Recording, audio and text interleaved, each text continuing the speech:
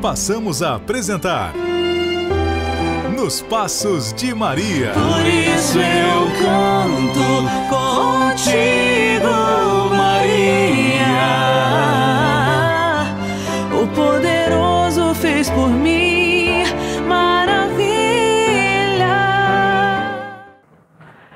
Passos de Maria, nos encontramos com Jesus. Louvado seja nosso Senhor Jesus Cristo, para sempre seja louvado. Obrigado a você que nos acompanha mais uma vez pelas redes sociais da nossa Diocese. O nosso programa, o nosso momento de reflexão junto de Nossa Senhora. E hoje, de todo o coração, celebramos Nossa Senhora do Desterro, né? Refletimos sobre esse título, vamos meditar juntos. Aqui na nossa diocese temos uma tradição tão bonita de celebrar Nossa Senhora do Desterro no último sábado do mês. Hoje nós vamos falar um pouquinho, neste sábado, um pouquinho sobre a Virgem do Desterro. Nossa Senhora, São José, que fogem para o Egito, junto com seu filho Jesus, o livrando do mal, da morte e das garras de Herodes. Peçamos a Nossa Senhora que ela, como tantas e tantas mães, nos ajude, nós que somos os seus filhos, a sermos livres e libertos de tantos e tantos males na vida. Em nome do Pai, do Filho e do Espírito Santo.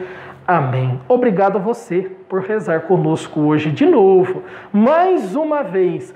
Você que é sempre fiel ao nosso momento de encontro nos passos de Maria. Que Nossa Senhora nos ajude, meus irmãos, a fugir das situações que o mal nos oferece e que Nossa Senhora, nas vezes que nós perdemos as forças, possa nos carregar no colo, como carregou o seu filho Jesus. Meu irmão e minha irmã, a nossa diocese tem uma tradição belíssima, que na cidade de Casa Branca, lá no alto da colina, no santuário tão bonito dedicado a Nossa Senhora do Desterro, celebrar a festa da Virgem no último domingo de agosto.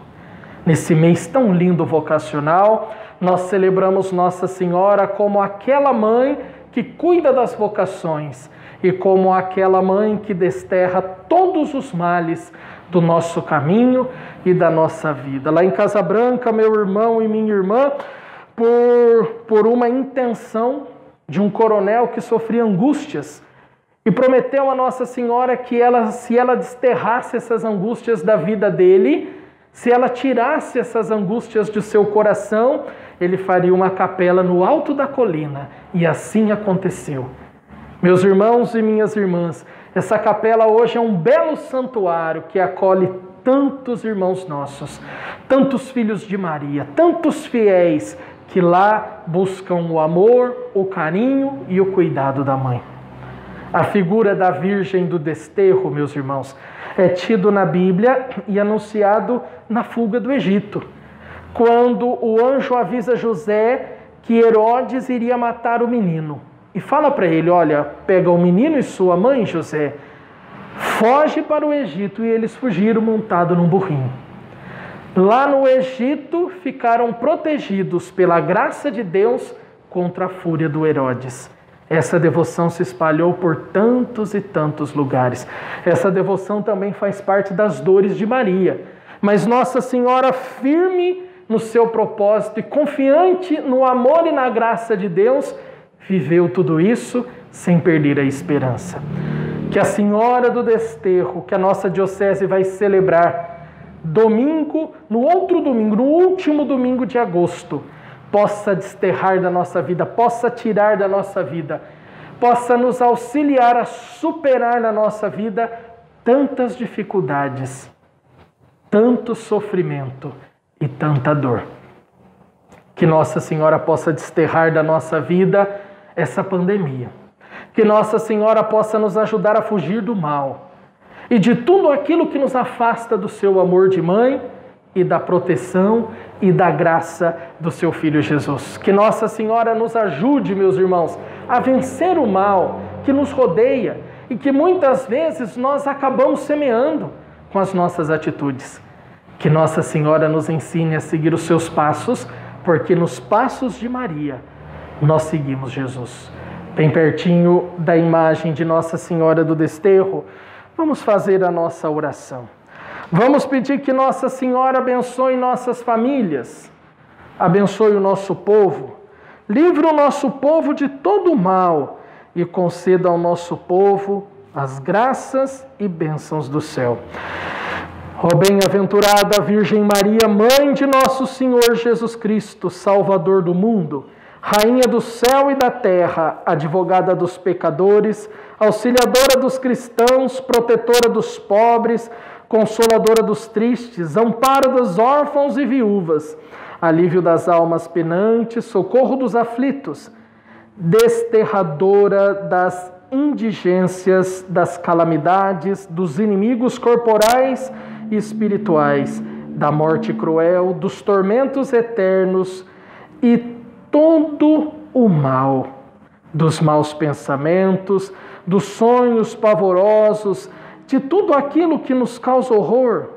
Minha mãe amada, eu prostrado agora aos vossos pés, cheio de arrependimento, dos pecados, por vosso intermédio imploro perdão a Deus infinitamente bom. Rogai ao vosso divino Filho Jesus por nossas famílias, para que ele desterre de nossas vidas todos os males, nos dê perdão de nossos pecados e nos enriqueça com sua divina graça e misericórdia. Cobre-nos com o vosso manto maternal, ó divina estrela dos montes. Desterrai de nós todos os males, afugentai de nós a peste e essa pandemia, para que possamos, por vosso intermédio, obter de Deus a cura de todas as doenças do corpo e da alma e encontrarmos as portas do céu sempre abertas e convosco ser felizes para e por toda eternidade. Amém. Ave Maria cheia de graça, o Senhor é convosco. Bendita sois vós entre as mulheres, bendito é o fruto do vosso ventre, Jesus. Santa Maria, Mãe de Deus, rogai por nós, pecadores, agora e na hora de nossa morte. Amém. Nossa Senhora do Desterro, rogai por nós. Que o Senhor nos abençoe, nos guarde e nos proteja. O Senhor esteja convosco, Ele está no meio de nós, por intercessão da Virgem Santa do Desterro Senhora nossa, abençoe-vos o Deus Todo-Poderoso, o Pai, o Filho e o Espírito Santo. Amém. Meu irmão e minha irmã, você que rezou conosco, você que participou conosco de mais um programa nos Passos de Maria. Obrigado pelo seu carinho, obrigado pela, pela sua presença de maneira virtual através dos meios de comunicação, obrigado por você enriquecer a nossa diocese com teu carinho, com a tua oração, com aquilo que você compartilha de bom que nós fazemos nos nossos meios de comunicação. Obrigado você por amar Nossa Senhora. Fiquem com Deus, com as bênçãos da Virgem Mãe do Desterro e até o próximo, se Deus quiser. Salve Maria!